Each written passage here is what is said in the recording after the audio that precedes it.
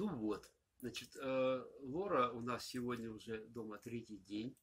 Она переночевала у нас, значит, три но... ну, две ночи переночевала.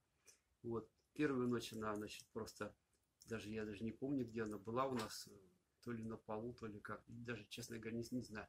А вот во вторую ночь мы сделали для нее хорошую постельку, постелили туда бумажки, тряпочек, она их там что-то пробовала как-то постелить, уложить так, какие надо. Очень хорошо выспалась, утром позавтракала. Ну, что можно сказать?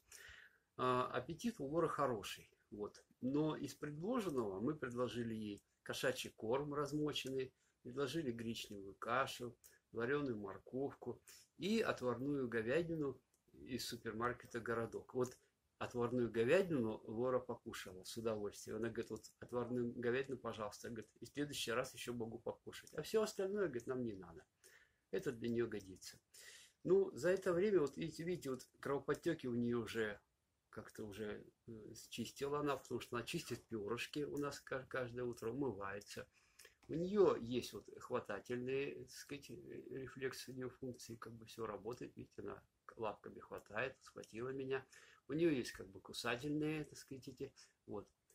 А что еще у нее? Она любит, между прочим, ну, как многие другие, как бы, она любит, когда ее гладят по головке, вот так. Это вот она готова терпеть, даже не терпеть, наверное, с кем может даже и наслаждается. Когда ее так гладишь по головке, она притихает, о чем-то думает хорошем, вот. И она в этом уже не, не кусается, и лапки распускает, вот, потому что знает, что пока все дома, когда все пришли, значит, и сменят водичку, приберут у нее, значит, на лоджии, где она живет, вот, дадут вот мяско, может быть, сырого, может быть, сварят. То есть все будет хорошо. Ну и, конечно, мы смотрим, наблюдаем, может ли она летать. Пока Лора очень хорошо ходит, лазит. Даже для сегодня, для ночевки, она себе выбрала антресоль у нас на лоджии там. И она туда уже сама спокойно залезает, сама слезает. Единственное, что нам осталось дождаться, когда она начнет летать.